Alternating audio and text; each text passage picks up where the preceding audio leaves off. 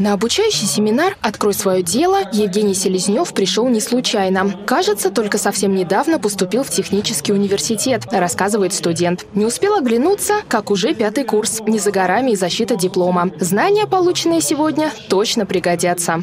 И сегодняшнее мероприятие как раз-таки было связано с предпринимательством, с бизнесом, с экономикой, то есть э, моя профильная тема. Нейросети – это тоже хороший инструмент, который можно как-то использовать при э, написании теории, то есть это может быть э, пойдет как отдельный какой-то параграф. Создавать текст, рисовать картины, объяснять заложенный в литературные произведения смысл и даже монтировать видео. Все это за человека теперь может делать искусственная нейронная сеть. За последние несколько лет в этой сфере совершен настоящий прорыв. Об этом активистам молодежного движения «За Волгу» рассказал основатель СММ-агентства, предприниматель Антон Стеньков. Студенты вообще одна из лучших аудиторий всегда, потому что они молодые, у них энергия, у них много свободного времени, что важно. И вот этот гибкий ум, когда они могут быстренько применить, на каких-то примерах своих это все представить, и уже выдать какую-то тебе реакцию, э, немножко ну, такую отрефлексированную, пережитую, и это здорово. Организатором встречи со студентами выступил Департамент экономического развития, инвестиций и торговли администрации Самары. Подобные семинары будут проходить в течение всего года.